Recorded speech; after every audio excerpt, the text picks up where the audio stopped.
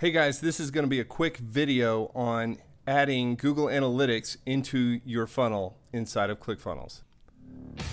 Hi guys, this is one of almost six plus hours of videos I've added in my Ultimate Guide to ClickFunnels course.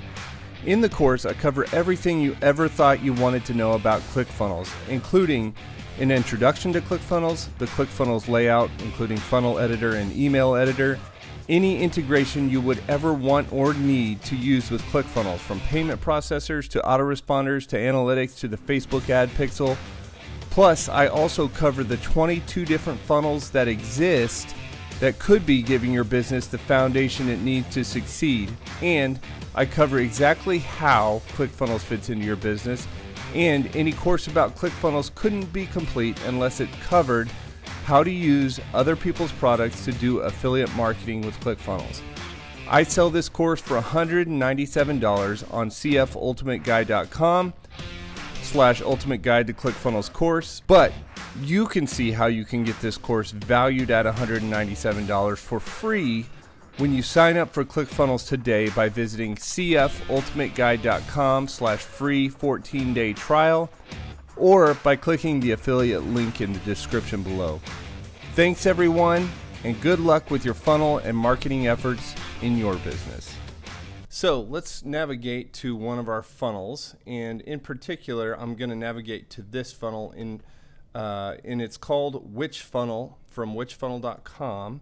So I'm going to find that here in my list of funnels, and I'm going to head there, and it's really simple to add analytics you have to go to Google Analytics and you have to create a property if you have not already created one. And then you grab the information here, your, uh, your tag, your Google tag, and um, it's basically just a uh, HTML tag that is a script tag. And um, it tells us very specifically just to add this to as the first item into the head of every web page you want to track. Well, the guys at ClickFunnels know that, and uh, they have given us the space to add our tracking to this particular funnel. So I'm going to grab my information. I just showed it to you, and I copied and pasted it somewhere else so I could grab it really quick. So uh, I simply go to, for this funnel, I simply go to the settings page for the funnel, and then I click uh, and paste my uh, track my Google Analytics tracking information. Okay, so here it is here. And then after that's added, we just scroll down to the bottom and click Save and Update Settings. And that's it. That's as simple as it is to add your Google Analytics tracking. Now, if you want to get more specific, Google Analytics allows you to track specific events, and um, you can you can uh, pass Google Analytics specific events. And the way that you would do that is, um, I, I think that most people probably aren't going to cover this because it gets pretty technical, but um, I wanted to cover it because I wanted to make sure I gave you a full picture. So if you wanted to do more tracking for a particular page within your funnel, you go to settings, you open up that page, you, you go to settings for that particular page, and then you go to tracking code and you add your tracking code here. There's a header and a footer option. So if you wanted to say, you know, somebody came to the website, this was a page view, or somebody uh, went to the cart page, they are initiating a checkout.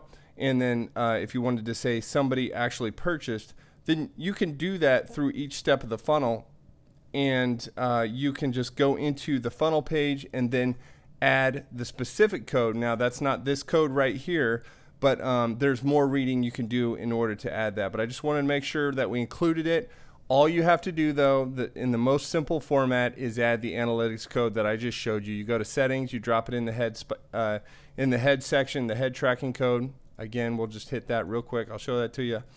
Drop it here, and then hit save. And then now we're going to go ahead and um, see right here, uh, receiving traffic in the past 48 hours, one active users right now and I can see this coming through. This was me. I literally just added this and I refreshed the page. So um, let's hit send test traffic and see if we can update the number of active users. So there it is. There's uh, two active users. That's the Google Analytics uh, test traffic.